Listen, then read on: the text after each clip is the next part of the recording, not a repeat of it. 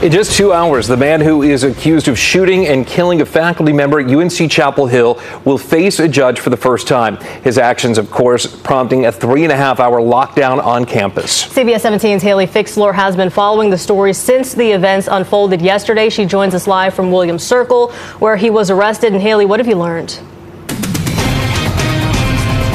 Bill, Liz, investigators left about 15, 20 minutes or so but for at least an hour, I'd say. They were going up and down this street here on Williams Circle with canines searching for something.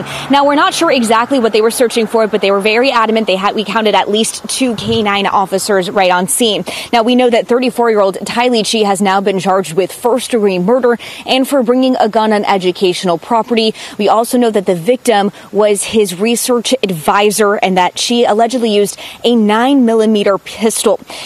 Yan was listed as Qi's advisor for the Yan Research Group. The group had been studying nanoparticles.